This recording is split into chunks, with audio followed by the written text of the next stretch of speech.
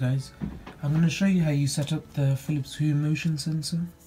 So what you need to do is pull out this tab. There you go, so now it should be flashing if you see. Orange and yellow it did. There you go. So now it's flashing there. So what you need to do is go on to Philips Hue app. And then you do go to settings, accessory setup. Oh, sorry, one. There you go. You press the plus button there, sorry I didn't see that. Then you go to Hue Motion Sensor. There you go, remove the plastic strip sticking out the battery compartment. Check whether the orange light LED on the front sensor is blinking, so which it is. So then you press LED blinking. So now I'll be searching for the sensor.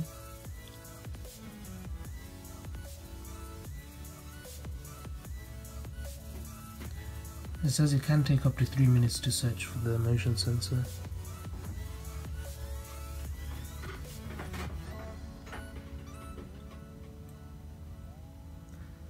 Okay, so now it says you successfully connected to the Hue motion sensor. Please select the room where this sensor will be used. So, for example, I could use it for the main door. So you just press whichever you like. And you should be able to change it around as well. Or you could use it as your bedroom, so if you walk in, it'll automatically turn on. So I could do that as well. There so, place the sensor so it covers the entrance of the room. There it is, just press got it and then your sensor will be set up for the bedroom for the following defaults so you should be able to turn these off or on so whichever you like okay so now saying setting up defaults there's just non-sufficient daylight okay so here it says one new accessory found that's off Okay, and then all you'll have to do is now just place this wherever you like. You could just mount it on or screw it on the wall as well. So that's how you do it here. So from the app wise, it'll be all now connected. There you go, the card just changed now. I'm going to show you how you use the Philips Hue motion sensors. So at the moment I've got it placed here. So what I'll do is turn off the lights. So now when I walk past that, the lights should turn on. So now, there you go. Now it's all back on again.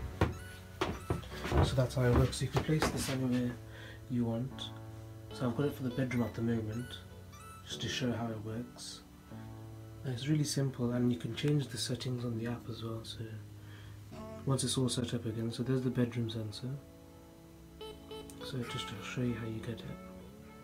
So you just go to accessory setup and then there's your bedroom sensor and you could choose whatever you like from here just save of course. Okay. Thank you for watching